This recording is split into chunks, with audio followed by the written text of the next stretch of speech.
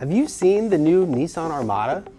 Take a look. Loaded with luxury features, down to the espresso brown leather and diamond stitching.